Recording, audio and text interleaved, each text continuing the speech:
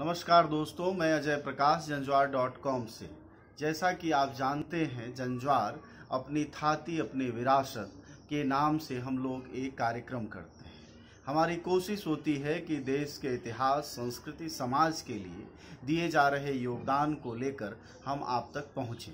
हम उसी सिलसिले में इस वक्त हरियाणा के मेवात क्षेत्र में हैं।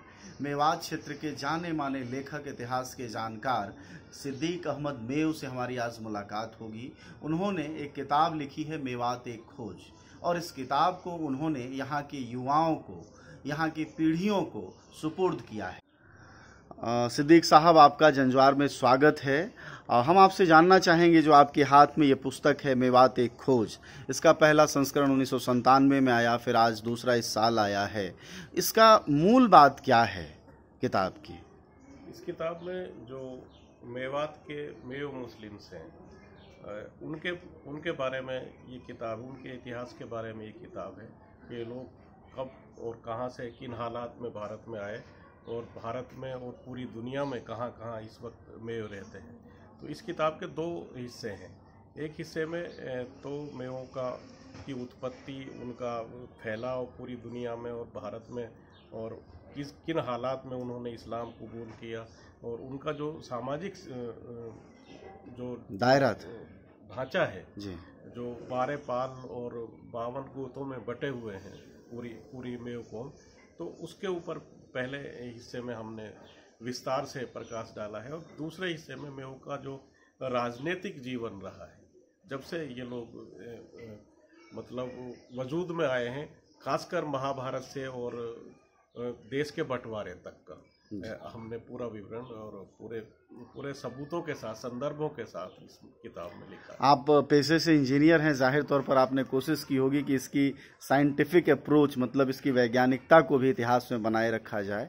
तो ये बताइए कि इस इतिहास में वो कौन सी रोचक और तथ्यों छुपी हुई बातें हैं जो आप सामने लाने की कोशिश करते हैं मेवात के इतिहास?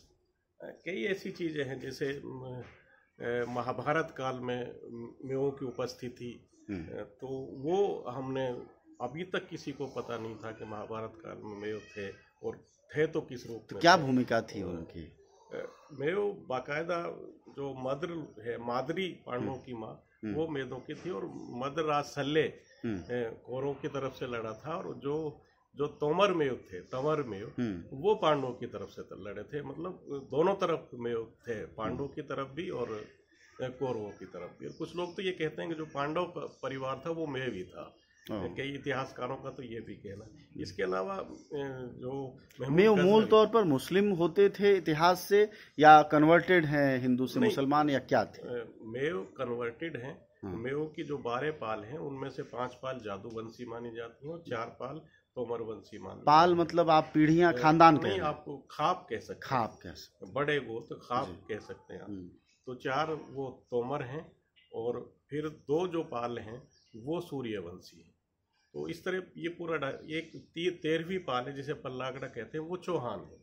तो इस तरह से पूरे कन्वर्टेड हैं और इनका पहला कन्वर्जन सात सौ बारह में मोहम्मद बिन कासिम के वक्त हुआ था।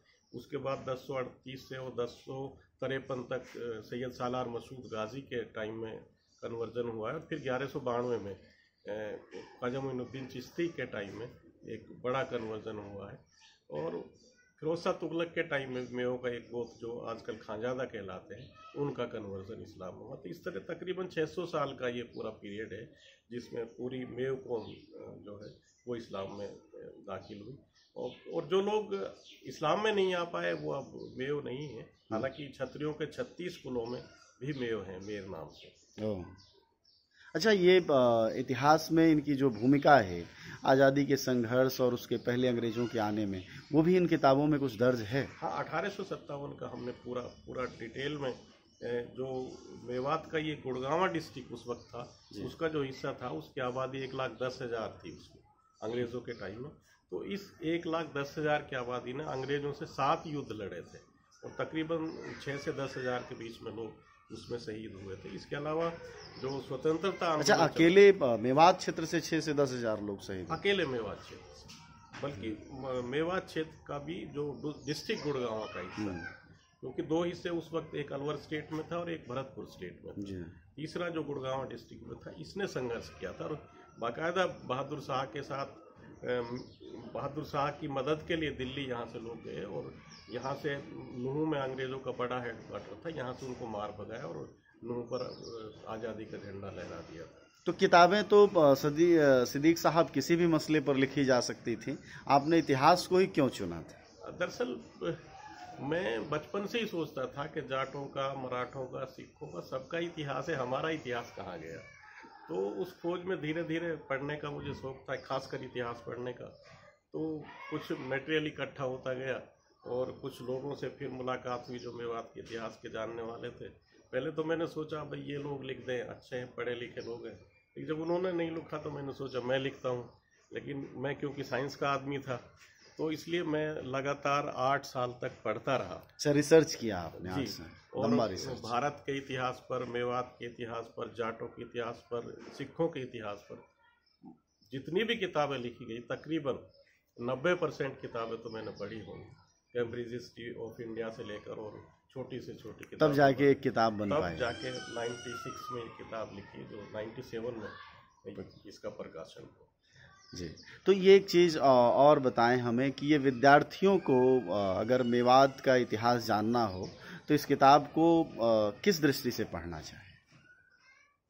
इसको असल में हमने इसीलिए नौजवानों को इस किताब को समर्पित किया है कि वो लोग अपना इतिहास जानें।